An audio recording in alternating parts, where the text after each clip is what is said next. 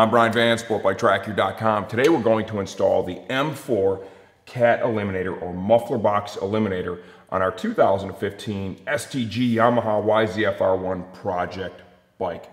Okay, you're able to install this pipe, remove that muffler box, and reuse your stock canister.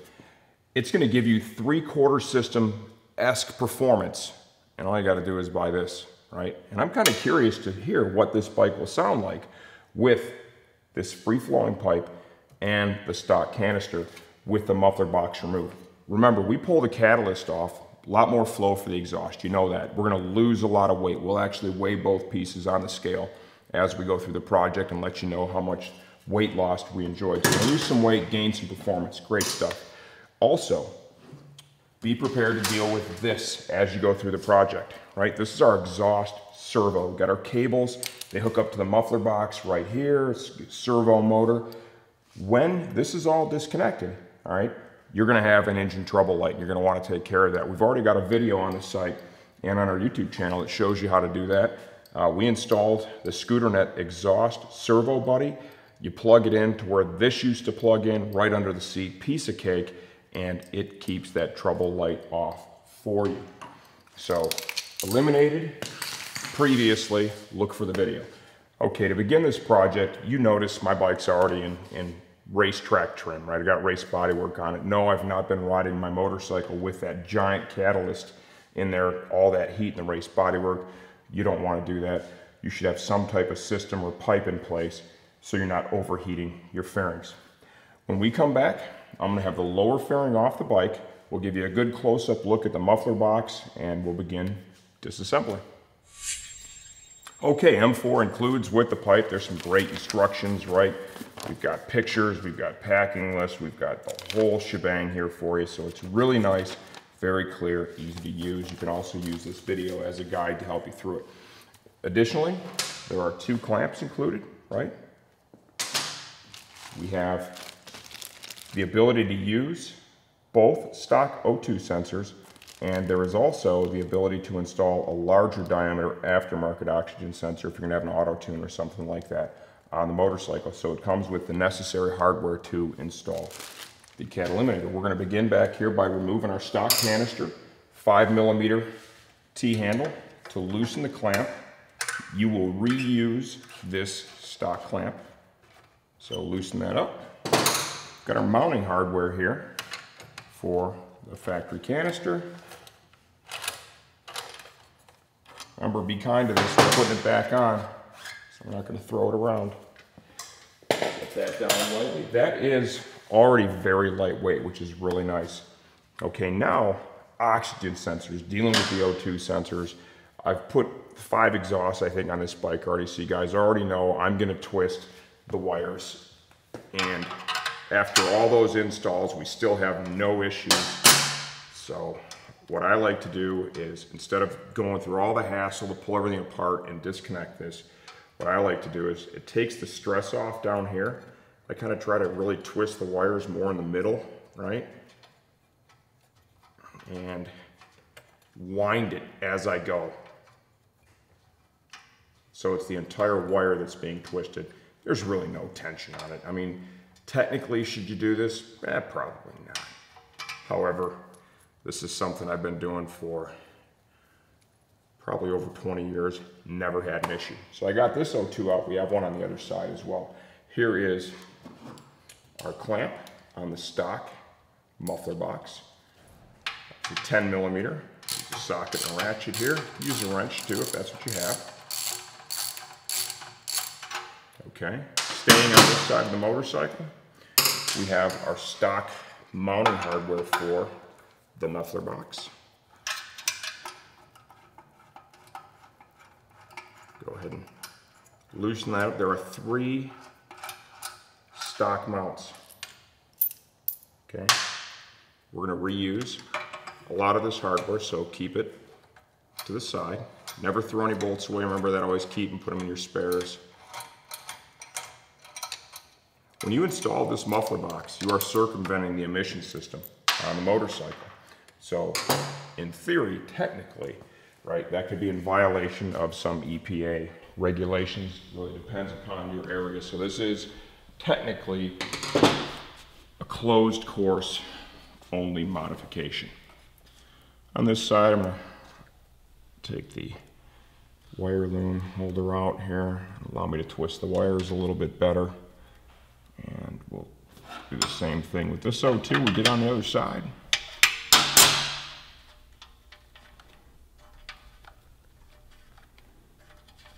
Getting ready to head down to Daytona to ride with the folks from Team Hammer. We're giving away that uh, Suzuki to Jarius Washington, our bike winner. Gonna ride with him, hang out for the day.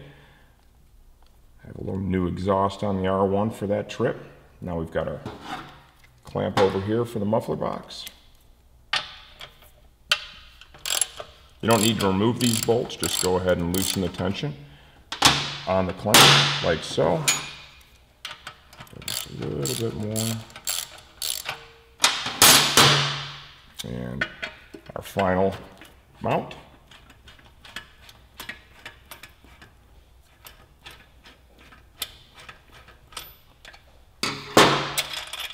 And now this will allow us to remove this gigantic muffler box. Now remember, I want to stress, if you haven't already eliminated your servo, you're going to have to deal with the cables on the other side. It's a really basic thing. It's super simple. And once again, like I said, we have a video where I've done all that. You can watch that. It'll walk you right through the process. Now the muffler box, support it underneath, wiggle and pull back, right? Does have some weight to it, so don't just let it go. And there you have it. We are ready for our install. All right, we went over and we weighed the systems, the pieces. You are going to have a 12.4 pound weight savings when you eliminate that ugly, gigantic muffler box. And remember, we're still reusing our stock canister with it. And this thing is extremely lightweight. To open up, what we're gonna do is we're going to install the plug for the aftermarket we're not going to be using that, so I'm going to get some anti-seize, which is supplied. Because of the dissimilar metals here, we will put just a little coating in case we have a change of plans down the road. Instead of getting this stuff all over your fingers, I like to use a rag. And we'll throw this into the pipe. Obviously, want to make sure this is going to be tight. So you do not have an exhaust leak. Okay. Now, for mounting, we will be able to eliminate this mount right here. So you've got just a couple of uh, five millimeter Allens in there. We'll remove this, get a little clutter out of the way.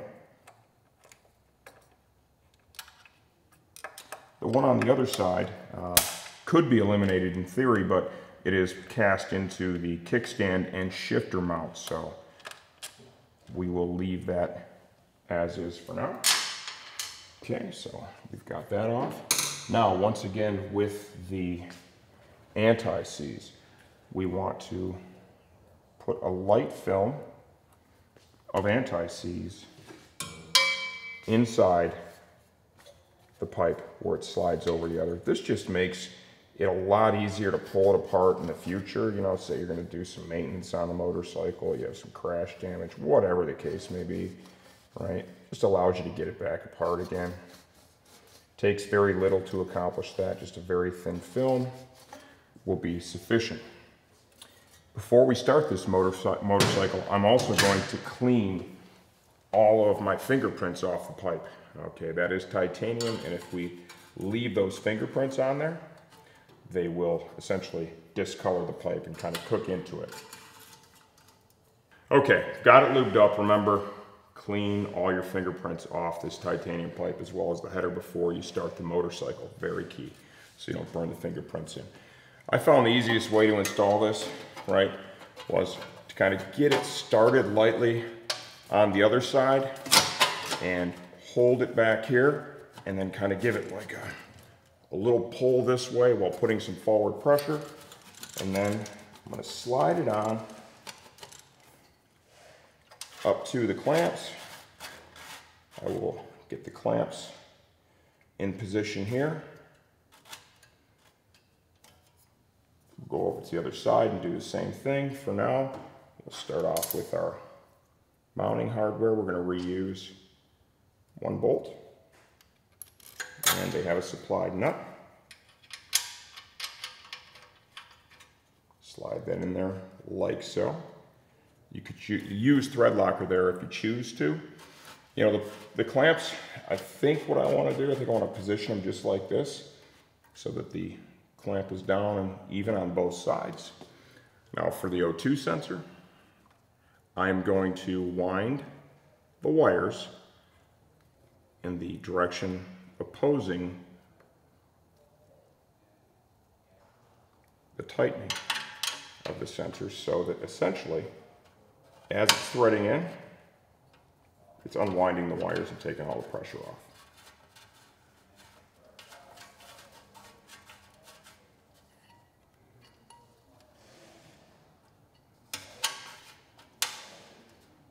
Okay, down there hand tight. We'll go ahead and snug that up right now. No reason not to.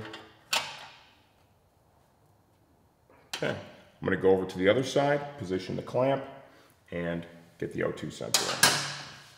Okay, grab the clamp, slide it right over like so. You wanna get it so that it's primarily, you know, on the end, right, of the pipe, just a little bit of pipe showing through. Grab this O2 sensor and twist it up. Remember, like I said earlier, I've done this. Okay, this is this is a good six, seven times now, okay? And that's not if, if that's if you don't count putting the motorcycle back to stock before shooting the exhaust video. So, and we've had zero issues with these sensors. So you take that for what it's worth. If you want to go through the trouble of unplugging everything, not a problem. Do what you feel is right for yourself and your motorcycle.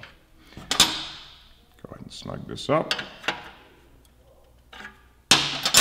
Little wire loom dealy over here. Slide that back in. Keeps everything off the shifter. Okay, like so. And make sure that we come up here and just address some of the slack that we have down through the bottom, a little additional slack, like so. Okay, so it's positioned nicely, it's all out of the way. Now, gonna give the pipe back here wiggle, make sure everything feels cool. All right, that's up against the mount. And we're gonna go ahead and tighten up the barrel clamp.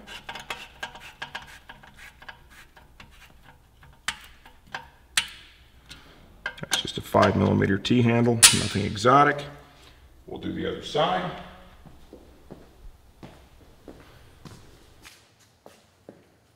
Make sure it's positioned well. Go ahead and snug that up.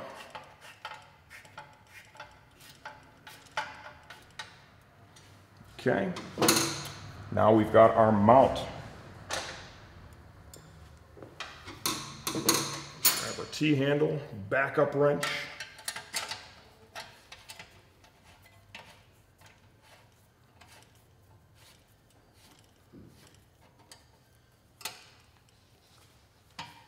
Snug that up. Okay. Good to go. We are ready for the canister.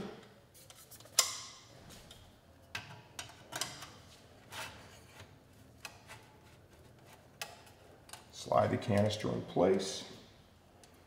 And we'll use the same mounting bolt that I had on here previously.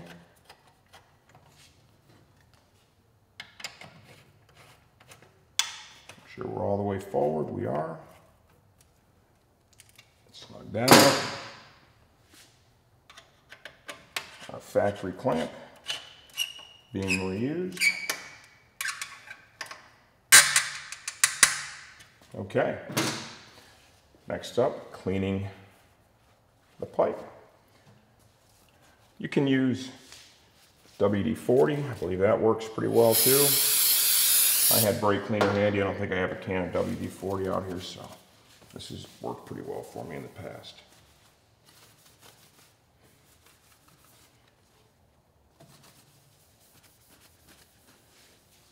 Just give you an idea, that's the greasy handprints that came off of the pipe. You'll always end up with a little bit of discoloration, but you want to try and minimize it. Okay, uh, we'll throw the lower fairing on and when we come back, we're to start the bike and we'll see what it sounds like with the cat eliminated and the stock canister on the motorcycle. All right, here we go. We ran the bike for a minute and warmed the motor. Okay, so we can rev it a little bit, but here is what it sounds like with the cat eliminated and the stock canister.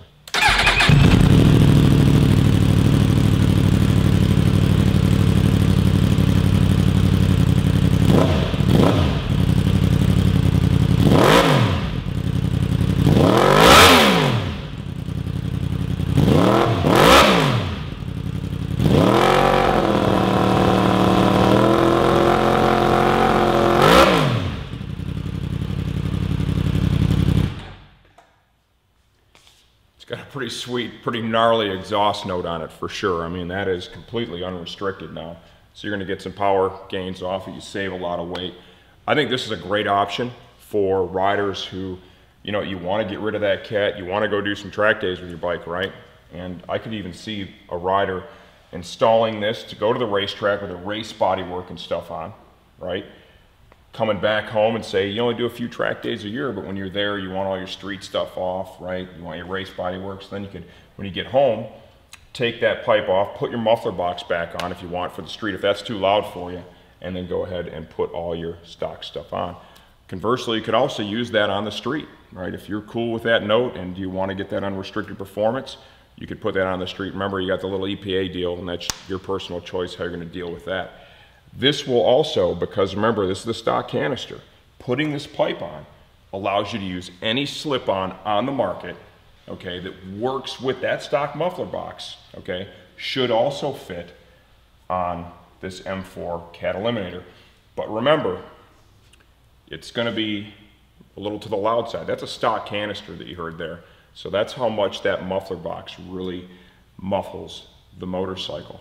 This is our M4 cat eliminator install on our 2015 STG Yamaha YZF-R1 project bike.